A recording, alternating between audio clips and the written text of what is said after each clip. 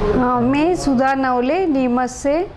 मेरे क्या है कि एडी की हड्डी बढ़ चुकी थी और मैंने नीमच में भी दो चार डॉक्टर से ओपिनियन वगैरह ट्रीटमेंट करवाया।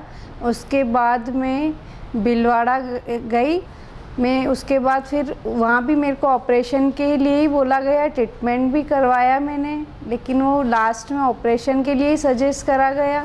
और हमको क्या है कि पेपर्स द्वारा जानकारी हुई नीमच में पेपर में आया इन सिम्स हॉस्पिटल का तो हमने सर्च करा, उसके बाद सिम्स हॉस्पिटल पहुँचे हम, और उसके बाद हमको यहाँ से ओपिनियन मिली, डॉक्टर पार्थ पारेख करके हैं, वो फुट एंकल के ही ये हैं, स्पेशलिस्ट, हम उनसे मिले, उन्होंने भी हमको यही बोला है कि आप ऑपरेशन ही करवाना पड़ेगा ट्रीटमेंट एक महीने का भी दे सकता हूँ, लेकिन आपको उससे कुछ फ़र्क नहीं मिलेगा कि टोटल आपको ऑपरेशन के लिए सजेस्ट किया गया है। हमने फिर उनसे ये, ली परमिशन, उसके बाद मेरा ऑपरेशन हुआ। हमको उनका नेचर वगैरह, उनने हमको अच्छे से गाइड करा। इससे हम बहुत संतुष्ट हुए। फिर हमने ऑपरेशन के लिए तैयार हो गए। मेरा ऑपरेशन भी अच्छे से हुआ। सब कुछ उनका नेचर भी हमको बहुत अच्छा लगा। अभी तक भी अच्छे से उनने गाइड करा। सिम्स हॉस्पिटल में सारी फैसिलिटी वगैरह अच्छे से स्टाफ्स वगैरह बराबर अच्छे से करते हैं।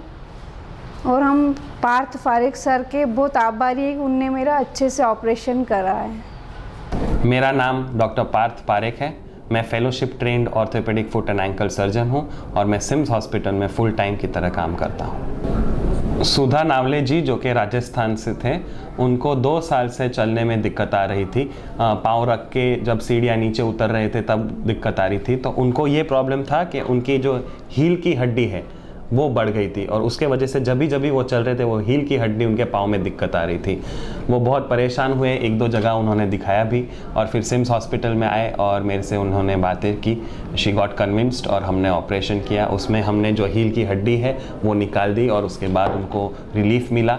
आ, दो महीने हो चुके हैं अब and she is very well वो बहुत ही प्रसन्न है और इस तरीके से इसको हैगलेंस डिफॉर्मिटी कहा जाता है। सो so, हील की दिक्कतें होती हैं जो ऑपरेशन के साथ सॉल्व की जाती है और जो पेशेंट तीन या चार साल से हैरान हो रहा है, वो करीबन सात से दस दिन में पेन फ्री वॉकिंग कर सकते हैं। तो इस हिसाब से painless movement and getting back to your feet का प्रिंसिपल यूज़ करके हम यहाँ पे ऑपरेट कर रहे हैं।